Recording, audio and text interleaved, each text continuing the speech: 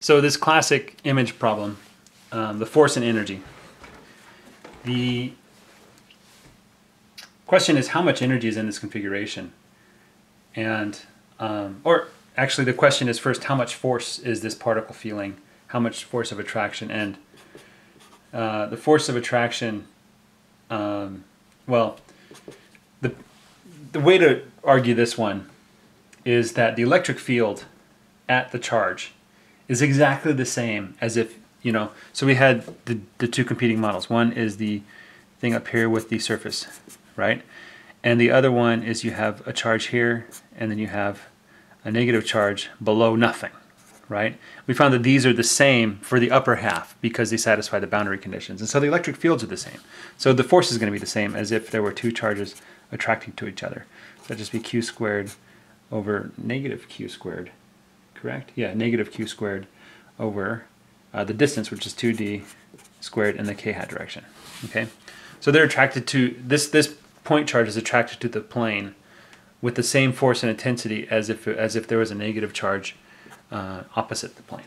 Okay, so for all hints and purposes, to the charge itself, when you're above the plane, it looks like you're looking at a mirror image of the charge. That's everything looks like that um, because there's no difference between that and um, the boundary conditions of having a conductor there that's, that's grounded. Um, energy, is energy the same? And the answer is no, it's not quite the same. So we have to calculate the work to assemble this, which is going to be, um, I'm getting ahead of myself, aren't I? Um, so without the conductor, the work would be the two charges uh, times the distance, 2d. And since one of them is negative, it's going to be a negative charge. So uh, the negative sign should go over here so you don't get confused. I'm not subtracting. Uh, same thing for this. It's negative force. It's opposite the key direction. So um, you would think it would be this because it looks exactly the same, but the answer is rather quite simple.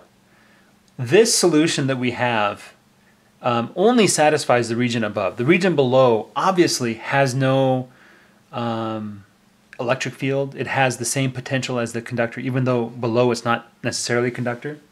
Um, the potential below is zero. So really, we only have half of this. So we take this and we cut it by half.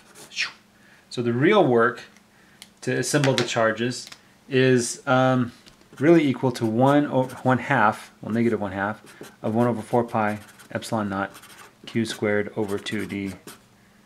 Um, why? Why 1 half? Um, I just argued that the electric field, only half of the electric field is present that it would have with the two charge configuration. Um, if you prefer, we can calculate it using forces. So it's the integral of the force dot dl to move it from infinity to the position, right? And of course the force is opposite what the force the particle is feeling because uh, um, that's the force that you apply to the charge. So we get the integral of d to infinity of uh, negative 1 over 4 pi epsilon naught times, uh, well, q, the force is uh, negative q squared, so negative and negative. That makes a positive. Positive q squared over the distance squared, 2d squared, right? And we're going to move in the dz direction. We're going to start at infinity and come down directly to where it's positioned in the end. And, you know, solving for that shouldn't be any surprise that you're going to get um, the result 1 over 4 pi epsilon naught q squared over uh, 4 d, I believe. 1, yeah. Or if you prefer, 1 half of the potential, you know. So um, why is the work half? Well, the answer is we're only moving one charge. The charge that accumulates on the plate at every point that that moves, there's no electric field to oppose it. There's no work done on that charge. Um, so really, you know, it's like when you walk into a room and look into a mirror, are you having to spend double the energy because the image on the other side of the mirror has to move as well? And the answer is of course not. It just doesn't make any sense. So the so the work to move it on the conductor is zero. And you know, finally, I wanted to end with this little gag joke thing. So what does uh, a charged particle see in a conductor. And so like let's say you had a, let's say you had, uh, let's use red for a nice red color. So this is this is a, the charge looking into the mirror. So he's a plus charge. And so he looks into the mirror. And what does he see? He sees a charge. His reflection is always negative. So when he's happy, the reflection is sad, and when he's sad, the reflection is happy. anyway, um, so hope you understood what's going on here. That that really is an image. That's not a real. That's not a real charge that he sees. It's just an image. So, all right, one more section. We're done with this. This is a lot of fun.